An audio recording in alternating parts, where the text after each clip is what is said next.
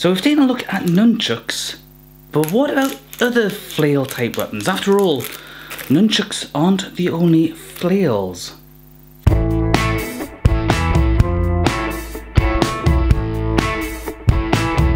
So of course, in my last couple of videos I've done on this, I've looked at nunchucks, I've looked at them in quite a lot of depth, I've put them through some practical applications against my friend here. Uh, but of course, nunchucks are not the only flail weapon to have ever potentially existed and to had doubts cast about their abilities. Now, like I've said before, just to make this absolutely perfectly clear, I don't believe that these are practical weapons by a long shot. They do have some use, yes, but they are more than likely just a close quarter weapon at best but for the rest of the time they're just a training tool for developing hand and eye coordination. That said, as with just about anything you can imagine regarding both ancient Asia and ancient Europe, they're all the weapons that have certain similarities with each other, different elements of culture and whatnot. I believe the term is parallel development or parallel evolution. It just depends on what parallels you can find in the different cultures and weapons and armour and so on and so forth.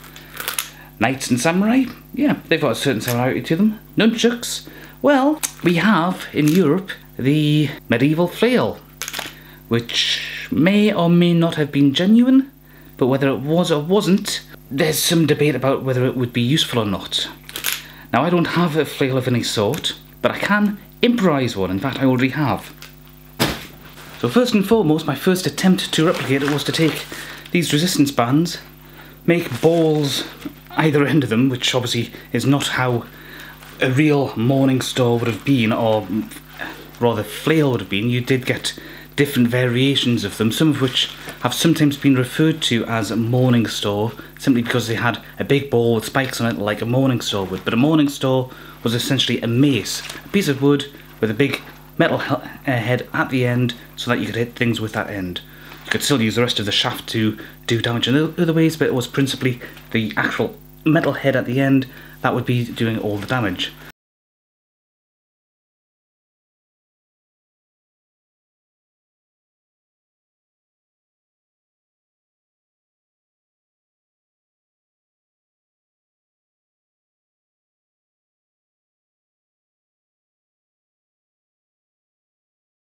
So my first attempt at replicating the idea was to just wrap this up into a ball here. Now, of course, you're probably thinking, that wouldn't work. And you'd be right, because when I tried it out, it just kept bouncing back quite quickly, which might actually be a true indication of what would happen with a real flail as well.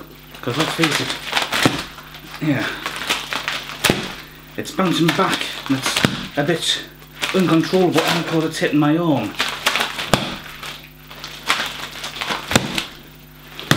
And whichever way we do it, I'm always hitting my arm in some way or another. Now, the thing we've seen with examples of uh, medieval flails is that the length of the rope or the chain could be variable. Sometimes it would be relatively short, sometimes it would be relatively long. Of course, the thing with a longer one is it's still got the same sort of problem, although in some cases you can sort of uh, adapt and work around it. Sometimes it just ends up hitting the shaft which of course has been simulated by the rest of the length of uh, plastic material here. But sometimes you miss, and sometimes it just hits you. Of course you'd have to be adapting sort of nunchuck principles to spin it around all the time. But of course, this doesn't feel like a true depiction because of course there's no rod here. And I do get the feeling that it's bouncing off a lot more simply because of the construction. It's rubber. Rubber has an ability to bounce to a certain degree especially when it's hitting something with force like that.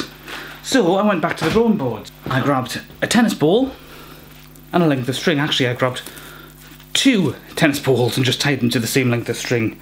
Um, I just basically adapted everything along this sort of line. So again same sort of thing Maybe should put it on to the other hand, but hey ho. The thing about tennis balls is, of course, they are also bouncy. Okay. But I am having somewhat more success. Let's just try get leg forward. I'm a habitual right foot back kind of person. So I'm having a similar kind of issues to what I had with the nunchucks. It's, if anything, it's a bit more difficult to control because obviously it's a tennis ball, it's bouncing more.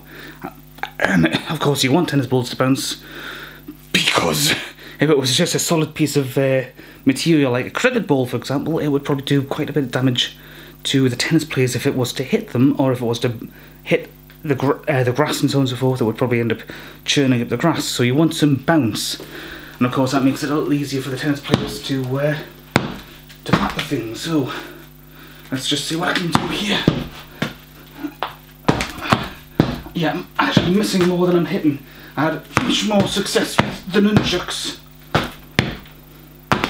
Haha, yeah, and that just hit quite solidly above my elbow here. So, yeah, but of course, tennis balls. I don't really have anything me metal and round to simulate anything like that, but I do have this kind of expired soup. How expired? Well, bear in mind it's uh, April 2021 as I'm doing this. This went off in March 2015. Yeah. Yeah, yeah, really raided the pantry there. It's amazing what you can find. But just to give an idea, you know, this isn't particularly heavy. I mean, let's face it, is anything to indicate the weight? Uh, probably not. No. But I can weigh it, because I've got scales just off camera here. This is a 16 ounce can of vegetable soup. Probably aluminium, I think. I think. It doesn't really say on the instructions what it is or isn't. But from tapping it here, that feels and sounds a bit more like aluminium. If it was steel, I think it would be a bit stronger. But basically, just hitting it lightly. Okay, I'm not putting much force into that, but the amount of force I can actually end up transferring through just with a light strike like that. You know, there's enough force going through here into the floor, making the tripod wobble. Okay? So that's just with the light strikes here. If this was tied up to something, I might get a truer result of what a flail would be like. I did actually try to uh, modify the tennis ball idea a little further, and I came up with this. Now this is a loft hatch hook. It's just basically for opening a hatch in the roof to get into the loft, or attic, or whatever you might call it. So all I've done is basically tied some string around here. Obviously I've not done a particularly good job. Uh, it's very much a bodge job. Uh, you can tell I'm not mechanically minded. But again, tennis ball, it's a bit more in keeping with what a medieval flail would be kind of like. So let's just take a look. Can we do anything with this? Uh, well, it tends to, because of its construction, it's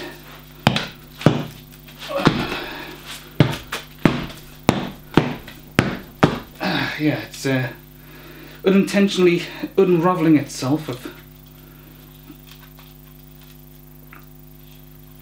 well, probably really need to redo that, but yeah, I just do not feel safe. And of course, we've got the extra length of this, which is probably a fair bit longer than a real real shaft would be uh, for this sort of thing. But of course, if you did have this and the chain broke or the ball came off, you could still use a stick in some regards to uh, defend yourself. There's lots of things you can do with a stick. Of course, yeah, that's bouncing off all over the place. but let's just give that another try. I mean, this would have to be a two-handed weapon simply because of the length of the stick itself. I'm just adapting things so I've got my finger sort of providing a bit more support around the uh, the rope. Right. yeah. Let's just try shortening that again. And just see what we're getting. Yeah, it's a bit more controllable, but it's also banging onto my arm. But we're also getting a bit more control because of the shorter length of rope overall here. Now I think if I was to replace the tennis ball with this, we'd probably see a lot more impact, but would also end up getting a lot more pain on my arm as this collided into it. Uh, because whatever's going to happen here is almost certainly going to end up happening with this. Uh, which makes me think if the medieval flail was indeed a genuine weapon of the period, not a later, uh, how shall we put this?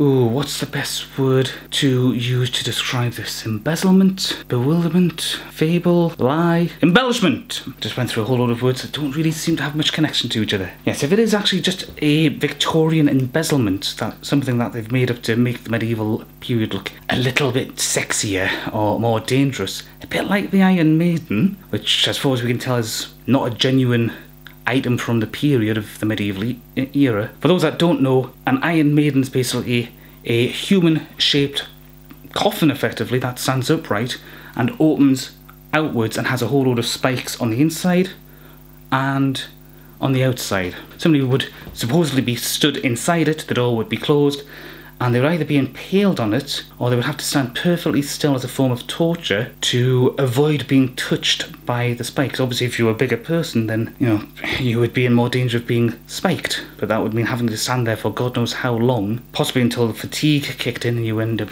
slumping downwards or whatever. In which case, you would end up getting spiked. But we've no evidence that it was a real medieval instrument. It's something that the Victorians seem to have made up. The same seems to be true regarding the medieval flail. As far as a lot of historians seem to be concerned, they don't seem to be able to find any way to show that it was a genuine weapon, at least not of the period. There's some call about practicality, like I've just shown with this very rough facsimile. Yes, you could try to use it, but you'd be in a lot of danger. Something I think Lindybeige showed, if I can find this video, I'll link to it. If you were going to battle in formation and you were using this, you'd be putting your own people in, in danger. I mean, obviously, that's unravelled because of the poor job I've done of uh, putting it together. Ultimately, if you were standing next to somebody in line using something like this, would you want to? Possibly the formations brought down and this was a, your backup weapon, yes, you might be able to use it, but then, then how do you carry it? If you try putting it into a belt, for example, then this is just basically going to be dangling around all over the place, hitting you.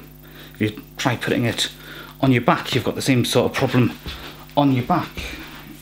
That would end up, as you're walking around, it would end up swinging around hitting you. No matter how well you secure it, eventually it will come loose. And even if it is secured perfectly and never comes loose, you've still got the object of this thing bouncing into the back of you at some point sooner or later. Or just forming an uncomfortable spot on your back. The only way I could see anybody safely using this would be if they're actually in full armour, preferably plate armour. Uh, even chainmail, for example, eventually the, the impacts are going to just end up going through the armour and impacting into your arm, you can have quite a bit of bruising. So I don't see it being particularly practical. The only time I could see anybody pot- potentially using it would be, say, a knight on horseback. You know, they've lost their, their lance, they've lost their sword, this is the only backup they've got. They could potentially go charging through and just swinging down onto anybody below them because they could be holding it further up and then just allowing the impact to knock people off their feet or collide with somebody's head. I mean, if this was to hit somebody, it's going to do a significant amount of damage, whether it's just a rounded ball or a rounded ball with spikes on, or any other kind of design you care to think of. It's going to do a fair amount of damage on impact. Of course, if it does have spikes on it, uh, that could potentially lead to trouble getting it out, uh, which could actually do more damage when you think about it. If you've got this lodged in your skull and there's a spike in it, even if it hasn't killed you outright, you're probably going to be concussed and all over the place like a Mortal Kombat character, and then somebody tears out, okay, because they're on, en route, you know, on their horse, driving past, driving past, riding past, it's lodged into your head for all of a split second, more damage, which would actually make it somewhat ideal. But I've got my doubts as to whether or not this was actually really used in the medieval period full stop. Maybe in the Victorian period, maybe people went around pretending that this was uh, something people used. Or perhaps, like the flail, it might have been used as a weapon to try to uh, teach people how to control themselves more. Okay, it could have been used for hand and eye coordination. Perhaps not as well as the nunchucks, though. And let's face it, if you're do- do- doing sporing, you'd be very certainly be making use of your shield to protect against impacts from something like this. I don't have a shield, so I'm just using my arm to simulate that effect for the time being. But yeah, you would definitely learn to use your shield to protect you if somebody's going around swinging one of these things wildly at you. So, I think that's basically it. Medieval flails, were they real? Can't say. Were they practical? No. Uh, could they do damage? Definitely. See you next time.